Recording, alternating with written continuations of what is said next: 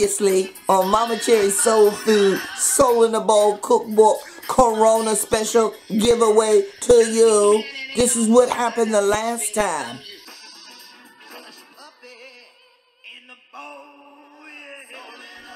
Let me get to you close up. Okay, it's Mama Cherry. I'm going to actually read from cover to cover for the first birth of the restaurant. This is what you've been waiting for. Put the glasses back on. It's a kitchen nightmare. Oh, yeah. And this is a picture of my pancakes. Okay, you got them? Those are my blueberry pancakes with maple oh, syrup. So we're getting there. We're moving along. And this is our salads and fixing. So I'm going to just show you just quickly, uh, give you an idea. Is what it looks like. We are now at one of my favorite all-time ingredients. Cornbread. Oh, yes. Here I am starting without my glasses, knowing I need them. Remember, during these times of corona, I can't even get out to fix my glasses. But don't worry, I've come up with a solution. I put them on, and then I put these on over top. And it stops them from sliding on my face like it did in the second, video. video. Okay? So, I may look a little bit strange, but hey, it ain't about how I look. It's about the words on my page. Here we go. Cornbread. So, welcome back, all my gorgeous peeps. Yes, we are moving along. I think we are now at part six. Yeah, part six, which is our fish recipes. And I love me some fish. So sit back and we're going to get started with our chapter on fish. So let me just give you a good little show you what it's going to be. So this is what we're looking at fish coming your way. Oh, yeah. So, settle back, okay? It's story time with a mama. All right, here we go. Oh, guess what, guys? I have managed to finally pick up a new pair of glasses. Now, let me just explain something. This chapter on fish, I filmed this a while ago, but my computer broke. I lost all of my data, okay? Data, data, whatever, it got lost. So, um, at the time when I filmed this and the next video you're going to see, I was still wearing my little wonky glasses, my broken ones. Since I have gone out to the shops, to the chemist, to the uh, drugstore, and I have found myself another pair. So let's hope these work so I don't be looking so silly. Oh, yes, I can see. I don't know what I look like, but I can see. So, settle back as we enter Mama's world of fish. You ready? Okay. So, our first recipe under fish is one of my favorites. It's fried catfish goujons. Fried catfish has always been a traditional soul food item but it is fairly new to the, to the UK. The meaty white flesh fish has a delicate but distinctive flavor. When it is pre prepared as goujons, tender, sweet pieces, pieces of fish, fillet coated in cornmeal, children seem to prefer it to the processed fish fingers. Hey, and why not? It's the real thing. You might have searched for catfish, but when you did, you couldn't find it, you know, and so, you know, you'd be very unhappy but a good fishmonger will be able to get hold of it. Alternatively, some oriental shops sell frozen catfish fillets under the name of pangasius, spelled P-A-N-G-A-S-I-U-S. And if you can't find any catfish, then cod and haddock also make good alternatives. Nowadays in the supermarkets, it's known as basa. Okay? So if you look for some basa, B-A-S-A, that's what you want. It's catfish. I think they just changed the name because people didn't like the name of the catfish because it is an ugly looking fish, but it's delicious. Here we go. What you're going to need. For, you're going to need 75 grams of cornmeal, 35 grams of plain flour. You don't have to add the plain flour if you have a gluten intolerance. Just stick with the cornmeal. Pinch of salt and pepper. Of course, some of Mama's love dust. Um, four fresh or frozen catfish fillets, skinned, and then cut into strips some 100 milli uh, milliliters of vegetable oil for frying, and some pineapple salsa. I gave you that recipe earlier. Go back to the other um, video and get it, because it's a winner. Combine all of the dry ingredients in a bowl. Wash the fish and then coat it in the dry mixture. Pour the oil into a large frying pan and place it over a moderate heat. Put the fish in the pan, skin side down if you're going to be cooking it with the skin. But remember, for the fillets, it's best to take that skin off. And cook it. Cook over a moderate heat for one and a half to two and a half minutes per side. Three to five minutes for whole fish um, fillets. Serve with pineapple salsa, hush puppies, and some hoppin' johns and coleslaw. Bam! catfish goujons. This is what it looks like. Lovely jubbly.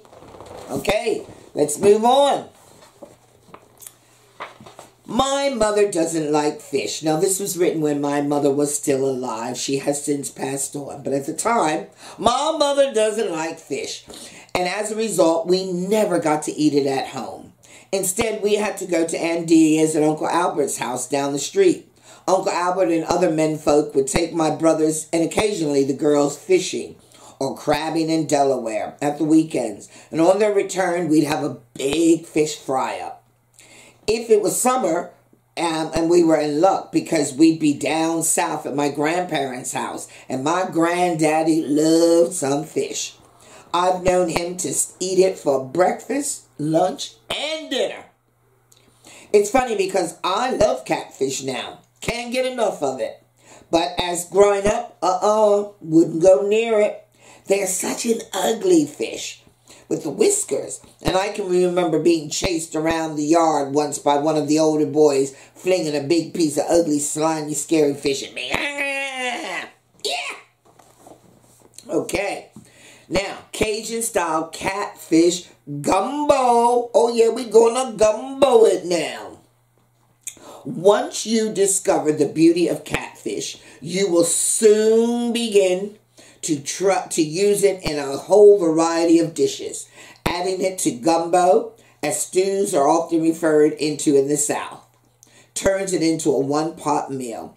Or you can serve it as a fish soup to start a meal. If you can't get catfish, you can substitute it with a nice meaty piece of cod or haddock. Okay, you're going to need for this gumbo, 120 grams of butter, 100 grams of plain flour, one onion finely chopped, two celery stalks finely chopped, one red, green, and um, pepper diced, two cloves of garlic diced and chopped up, one, one 400 gram can of chopped tomatoes, half teaspoon of salt, quarter teaspoon of black pepper, some chili flakes, and of course, Mama's love dust. Um, 475 milliliters of water or vegetable stock, one can of sweet corn drained, uh, 100 grams of mushroom sliced, 500 grams of fresh or frozen okra trimmed and sliced lengthways, and four fresh or frozen catfish. Melt the butter in a deep frying pan. Stir in the flour and cook over a low heat for a minute or two to make a smooth roux. Add the onion, celery, diced peppers, and garlic and cook over a low heat for 4 to 5 minutes until softened. Stir in the tomatoes, salt, pepper, and chili flakes. Cajun seasoning and water and then cover and simmer for about 15 minutes. Add the sweet corn, mushrooms, and okra and continue to cook for a further 15 minutes. Lay the fish fillets on top of the vegetables and simmer for another 5 minutes until the fish is done. Break the fish up into chunks and stir it into and stir to combine it in with the other ingredients. Try not mashing it up too much and serve it over some plain rice. Yummy, yummy, yum. Let's move on. Okay, here we go. One of my favorites. Mama's Spicy Fish Cakes. I love fish cake. And y'all know if you go back and look at my videos, I got lots of videos showing you a variety of different ways of making a fish cake. Fish cakes are quick and easy to make and a great way to use up leftovers. If you have leftover cooked potatoes and fish, you can mix them together with some seasonings. And hey, presto, spice the fish cakes in a jiffy.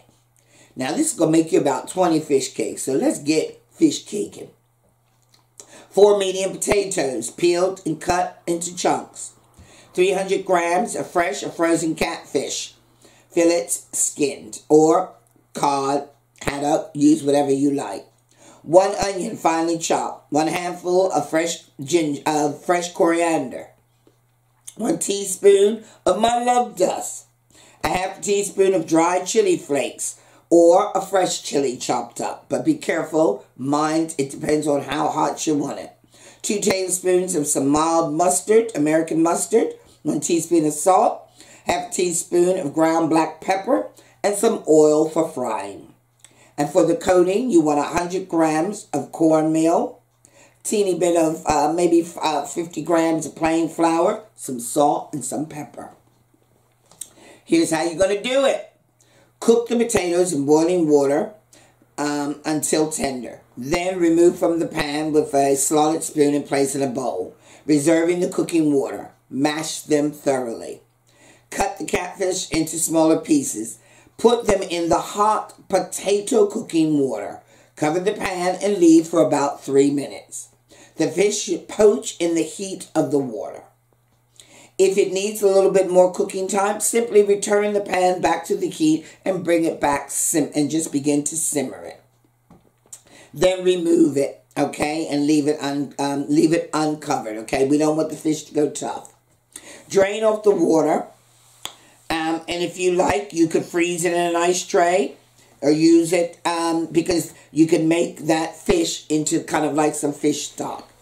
Leave the fish to, until it is cool enough to handle, then add it to the mashed potatoes with the onion, coriander, Cajun seasoning, chili, mustard, and salt and pepper.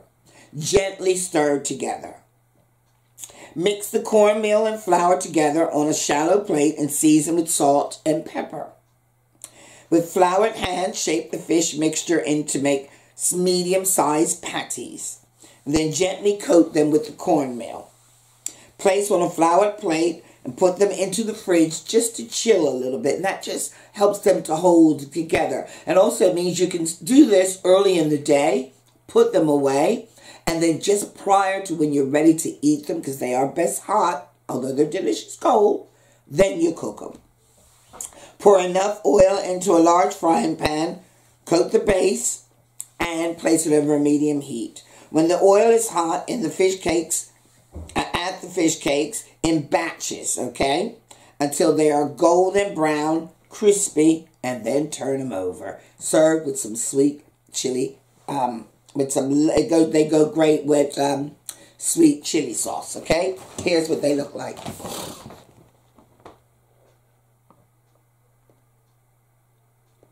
Yeah, looks good. Oh, Lord have mercy. We're moving on to some fish jambalaya. Oh, yeah. Fish jambalaya. All right, here we go. This is a very similar to the meat version, um, which I'm going to be reading out to you later, okay? Um, but it uses a wonderful assortment of fish. My favorites are cod, smoked haddock, catfish, snappers, salmon, king prawns. But you can, of course, use whatever fish you like. Okay? All of the fillets should be cut into large, nice pieces, about six chunks each. Make them nice and chunky because when it cooks, it's going to break down. And what you don't want it to just be fish flakes throughout. You want to be able to bite into a piece of fish. Okay, it's quite long list, so Get your ears perked up and have a listen. But don't forget you can also read it. You're going to need, I say about, okay? So it's approximately. It depends on how big of a dish you're going to make. So for this one, I'm going with 200 grams of smoked haddock, 200 grams of cod, 200 grams of catfish, the juice of one lemon, 3 tablespoons of my love dust, my Cajun seasoning, 3 tablespoons of vegetable or olive oil, 2 onions, 1 roughly cut, 1 thinly sliced, 1 red, green, and yellow pepper, half of each, diced, the other half cut into strips, 1 teaspoon of crushed garlic, 1 tablespoon of ground cumin, 1 teaspoon of cumin seeds. These are optional, but they add lovely flavor, okay, and a little bit of crunch to the dish. 1 teaspoon of salt, half a teaspoon of pepper, 1 chili, preferably a scotch bonnet, seeded and finely chopped or left whole. Okay, if you leave it whole, then you're able to remove it. You get that flavor, but not so much intense heat. Um, you also need 400 grams of easy cook American long grain white rice, one teaspoon of turmeric. You need 450 grams of mixed, mixed veg. I find it's just quick and easy. Get yourself a bag of frozen mixed veg. Works perfect. And 1.2 liters of water or fish stock. Some gumbo filet if you can find it. And 500 grams of peeled raw king prawns or crayfish. Skin the fish fillets and cut them into large um, pieces. Sprinkle with some lemon juice and one tablespoon of Cajun seasoning over them and set it aside to marinate. Now this lemon juice is going to be it's going to begin to cook it slightly, but it gives it such good flavor, okay? Especially with my love dust. Place a large saucepan over a medium heat and add one tablespoon of the oil, followed by the chopped onions, diced peppers, and crushed garlic. Stir in one tablespoon of the remaining Cajun seasoning and half the cumin plus the salt and pepper. Cover and cook over a low heat for about five minutes until the onion and peppers have softened. The spices will begin to give off their lovely fragrances and coat the pan, which will enhance the dish. I call this seasoning the pot. Oh, yes. Now stir in half of the marinade fish plus the chopped fresh chili. Remember that the Scotch bonnet chilies are very hot. If you have any cuts, they're going to burn you. So if you're worried about the heat level, remember, leave the chili whole, add it to the dish with the water of the stock, and remove it after about 10-15 minutes. Add the rice and stir well. Then add the turmeric and the remaining Cajun seasoning and the cumin. Stir everything together until the rice is fully coated. Then add the mixed vegetables and the water or the fish stock. Bring to a simmer and add the gumbo filet. Simmer and cover, simmer uncovered over a low heat for about 20 minutes. When the rice is swollen and is almost cooked, add the prawns or crayfish.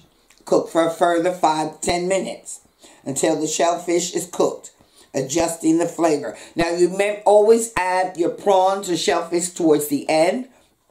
Excuse me, because you don't want to overcook them because they'll go like rubber and we don't eat rubber. Now, for the final ingredient, the uh, the stir-fried fish, okay? That fish that I had you stir-frying, we're now going to add that to the back to the pot. Heat the remaining two tablespoons of oil, add the remaining marinated fish, and stir-fry for five minutes. Add the sliced onions and peppers and mushrooms until the fish is cooked through and the vegetables are tender. Place it on top of the jambalaya and serve immediately. Okay. Now, it is so funny because when we were younger, my baby brother Kurt only ate peanut butter sandwich, peanut butter and jelly, and cold breakfast cereal. I ain't lying. It was hard. I don't know how my mother survived trying to feed that child. Seriously, that's all he ever ate. My mother was at her wits' end trying to make sure he just didn't melt away. Somehow he managed to survive on just that until he discovered that he loved the one thing my mother hated and never had in the house fish. Who would have thought that Kurt would take such a huge culinary jump in his taste. He's no longer a baby, and his love of seafood continues to amaze me. The pan fried jerk snapper is one of his favorites. And the good thing about it is, whenever I go home, I or take my children, my daughters, when they were younger, home back to the America, we were guaranteed that if we wanted some fish, I'd say, ring your Uncle Kurt. And they did. And he would take them out. And not just what he would, he'd get all the fancy stuff. I love going with my brother. So here is my pan-fried jerk red snapper. Fish is always number one option for my baby brother Kurt and he is keen to try out all different sorts. He loves whiting, sardines, catfish, and although he doesn't lean towards spicy food, he can't get enough of my stuffed jerk snapper. This recipe is a great summer dish and is nice served hot or cold, and it can be altered to accommodate almost any other type of fish, just as long as it's meaty enough to be sliced and stuffed. This is great when served alongside Hoppin' Johns, fried plantains, or my sweet potato salad. What you're going to need is one tablespoon of my Cajun jerk seasoning, okay, and two, red, two to four red snapper fillets. For the stuffing, you're going to need two teaspoons of my Cajun jerk seasoning. That's the wet curd Cajun jerk. And I've given you that recipe. So go back and look up that recipe. Mm, then you're going to need a cornmeal coating. Cornmeal, 75 grams of cornmeal, 35 grams of plain flour, salt, pepper, and love dust, baby, yeah. Ow! And some oil to cook it in. So, Rub the Cajun jerk seasoning into the fish fillets. Make an incision into each fillet and stuff about two teaspoons of my wet jerk seasoning into it. Combine all of the ingredients for the seasoning corn cornmeal coating in the in a bowl. Take each fillet and coat in the dry mixture. Pour enough oil into a large frying pan, cover the base, and place it over moderate heat. If you prefer, you can knit the coating and simply cook the fish on a griddle pan for three to five minutes each side, depending on the thickness. And if you're cooking a lot of fish and it's easier, you can roast it whole in a hot oven for about eight to ten minutes. And this is what you're going to come out with. Have a look at this. Oh, yes, mm, yummy, yummy. You know that looks good. You know you want to eat some. Okay. Moving on along. Here we go. Ooh, blackened Cajun fish. And this can be done with chicken fillets as well. Blackened. Whoa, yeah, here we go. Blackening does not mean burning your food. So let me repeat that line. Blackening does not mean burning your food, okay? It's a way of seasoning. If you rub some Cajun or dry jerk seasoning over fish or meat, then quickly fry it in melted butter over a highest heat as you can possibly manage, it will sear the spices and create a crust, producing the blackening effect. Don't worry if you can't get the crust to form at the first time, take some time to taste a little practice. If your meat or fish is more than 2.5 centimeters thick you will need to finish it off in an oven to ensure it is cooked thoroughly and properly. Any firm, fresh fish will work as long as it is at at least 1.2 centimeters thick. Try red snapper, salmon, tuna, shark, etc.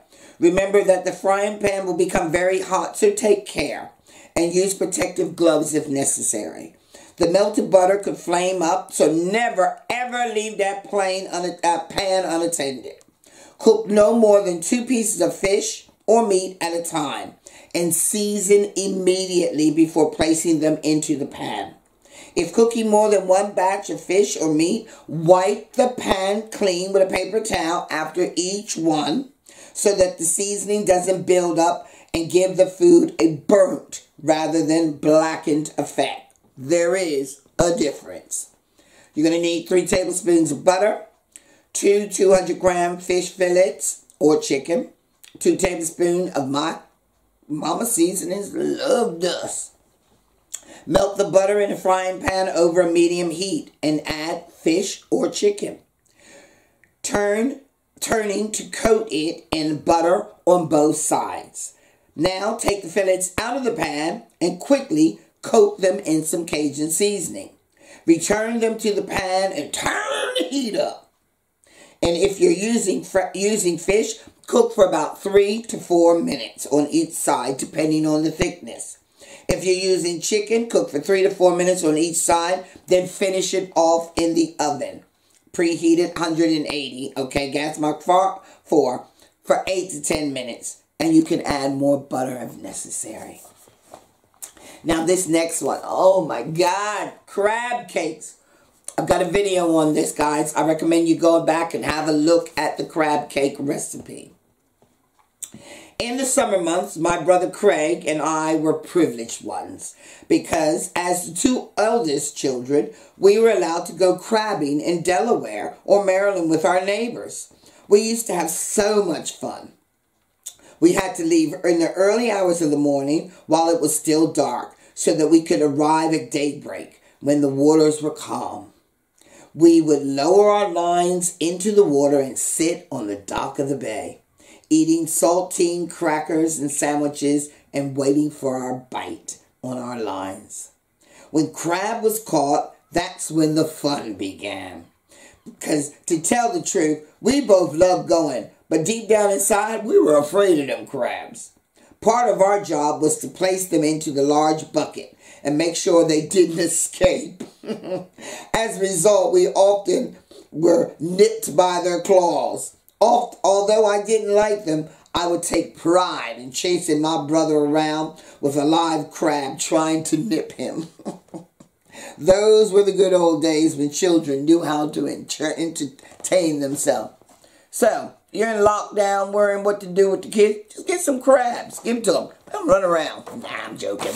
But, playing. Kids just need to learn how to play. What you're going to need for these fish cake, for these crab cakes, 500 grams of fresh crab meat, or you can use a tin, and one onion finely chopped, one egg. One teaspoon of my love dust, some Worcestershire sauce, teaspoon of mild mustard, chopped parsley, about two teaspoons, half teaspoon of salt, quarter teaspoon of pepper, and one teaspoon of lemon juice, and 100 grams of fresh breadcrumbs, or you could use some cornbread that's crumbled up to make your own breadcrumbs, and some vegetable oil for frying. Put all of the ingredients except for the vegetable oil in a large bowl and combine. If the mixture is too dry, add a touch of milk, just so that it is moist enough to form into patties. Gently shape into about 12 patties and place on a tray lined with greaseproof paper.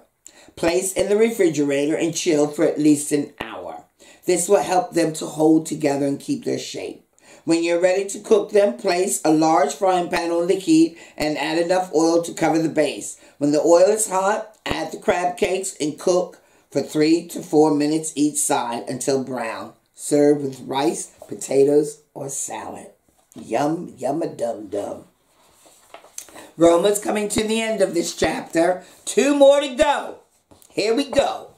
Garlic and chili tomato king prawns. Oh, Lord of mercy, just saying that one makes me hungry.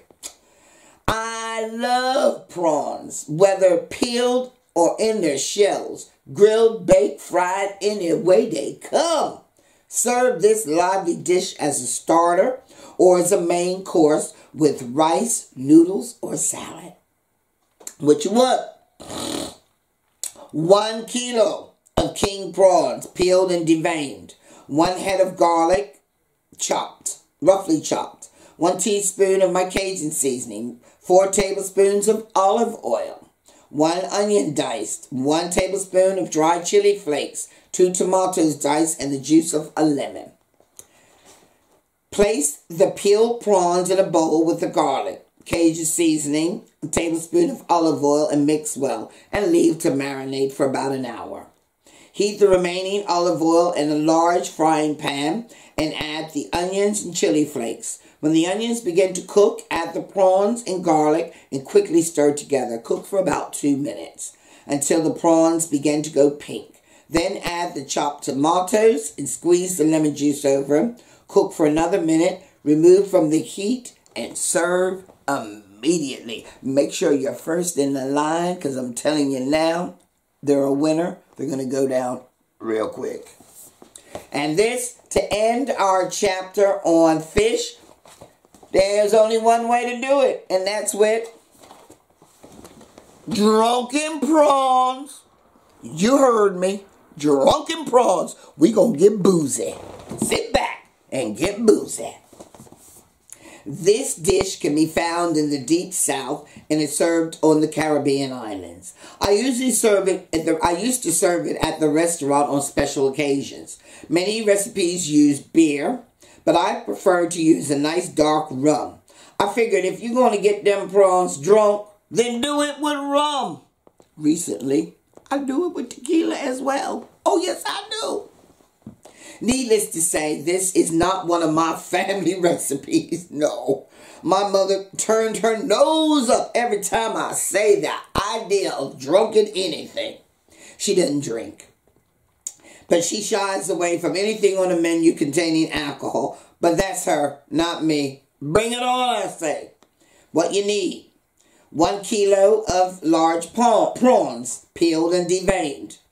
100 milliliters of dark rum, 150 pineapple juice, 2 tablespoons of finely chopped garlic, two, 1 tablespoon of chili sauce or Tabasco sauce, 100 grams of fresh coriander chopped, 1 teaspoon of my Cajun seasoning, and some soft dark brown sugar, about a tablespoon.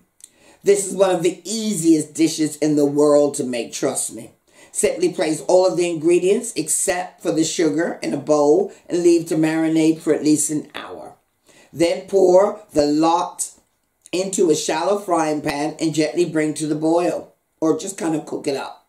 Cook for a few minutes until the prawns are firm and pink. Then remove them from the pan and set aside. Add the brown sugar to the juices and simmer until the mixture has reduced and thickened. Add another splash of rum and return the prawns to the pan, tossing them in their drunken juices and serve them on their own over a bed of rice. Okay, so that is the end of this one. Here we go. So this is our chapter 6. I hope you enjoyed it. Stay safe, and I will see you on the next episode because coming up next, guys, get ready. We're about to hit meat. Oh, yeah, we're going to get meaty in the next episode. See ya. Stay in. Stay safe. Um, if you are still under quarantine, follow the rules if this is being viewed years and years from now, because this is 2020, we made it. Stay safe. Bye.